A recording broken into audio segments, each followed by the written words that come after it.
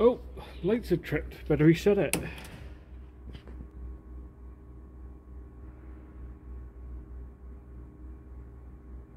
Ah. Whoops.